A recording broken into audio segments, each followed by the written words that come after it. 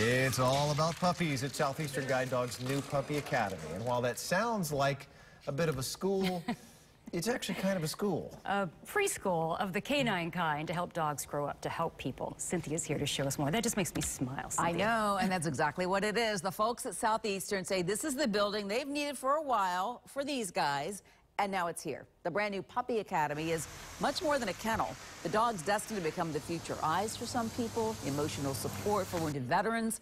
They'll be born here and begin their training here. And we're not talking about typical obedience training. Our puppies will start out here and they'll go from nursery school to preschool to kindergarten. And along the way, we're going to expose them to everyday things. Things as simple as a vacuum cleaner so that when they go into their puppy raiser home when they're 10 weeks old, that's not surprising. They've already been exposed to that sound. Or a hair dryer, or maybe we'll pop an umbrella and see what their reaction is to that.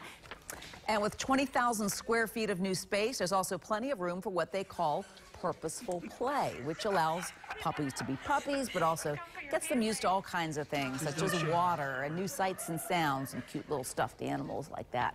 The $4.7 million building was paid for entirely by donations.